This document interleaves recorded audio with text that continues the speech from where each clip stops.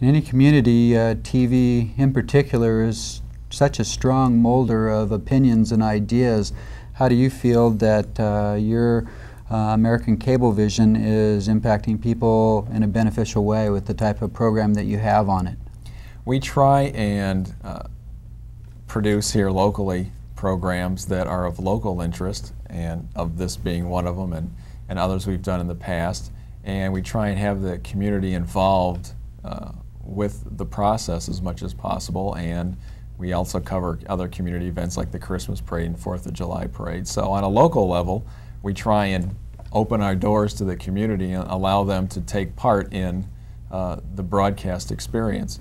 Uh, with the other programming that we have, we try and present the widest view and the widest amount of programming that we possibly can so that people have a choice and they can make up their own mind as to uh, where they get their news and entertainment and information. So by providing as much information as possible, it gives the community uh, the, the best possible uh, place to seek uh, information and determine for themselves what they want to watch and not watch.